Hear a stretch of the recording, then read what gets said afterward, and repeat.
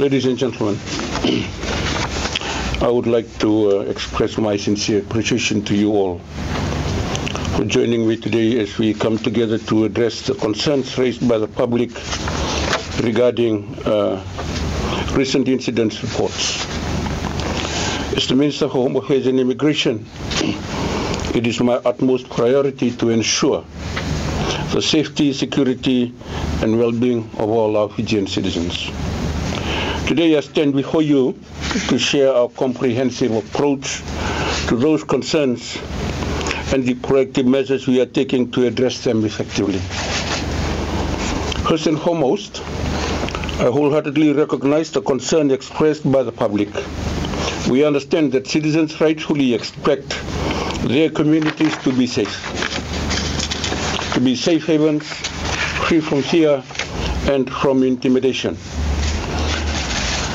Rest assured, we are deeply committed to building and maintaining safe and secure environments where individuals can thrive and lead fulfilling lives. One of the factors that have been brought to our attention is the current police to population ratio, which stands at one police constable for every 193 individuals. We acknowledge that this ratio is not sufficient to ensure optimal public safety and community well-being. Despite this, the police have been able to meet their KPIs for the last six months.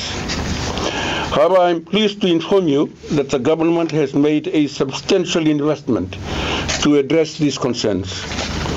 As part of our commitment to bolstering law enforcement resources, we are heavily investing to add 100 new police constables to our force.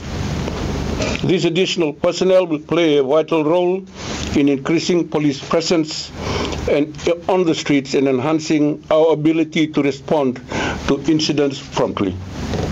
By augmenting our police force, we aim to achieve a better police to population ratio, which will significantly contribute to the safety and security of all our Fijian communities.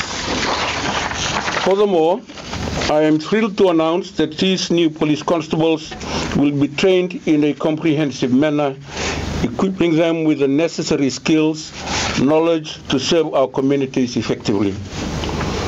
This training will emphasize community engagement, de-escalation techniques and cultural sensitivity, ensuring that our police force not only maintains law and order, but also builds strong relationships with the people that they serve.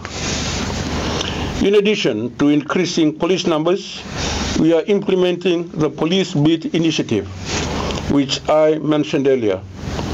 This program will further enhance police visibility and accessibility in our neighborhoods, fostering the sense of safety and reassurance for all our citizens. With the combined efforts of the new recruits and the police beat program, we are confident in our ability to address the concerns raised by the public and provide a safe environment for everyone. Now, accountability remains a cornerstone of our strategy. We firmly believe in transparency and the responsibility to maintain the trust placed in us by the public. As such, we are continuously reviewing and improving our systems, policies, and practices to ensure that our law enforcement agencies are held to the highest standards of professionalism, integrity, and of fairness.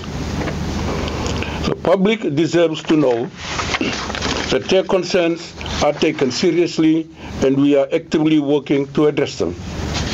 Nevertheless, we cannot achieve public safety alone. We recognize the importance of community involvement. We recognize the importance of community involvement and the role that each citizen plays in maintaining the security of their neighborhoods. We strongly encourage individuals to be vigilant and promptly report any suspicious activity to the authorities. By fostering a culture of active uh, engagement and collaboration between law enforcement and communities, we can create a robust network of support, safeguarding our neighborhoods and reinforcing the bonds that hold us together. In conclusion, I want to emphasize our resolute commitment our resolute commitment to taking action. The government heavy investment in adding 100 new police constables demonstrates our determination to address the existing police to population ratio and improve public safety. Coupled with the police with initiatives, we are dedicated to ensure to ensuring a safer and more secure environment for all. I extend my deepest gratitude to your attention and support as we work together to build a future that is secure and prosperous for ourselves, our families, and our communities. Thank you. Questions?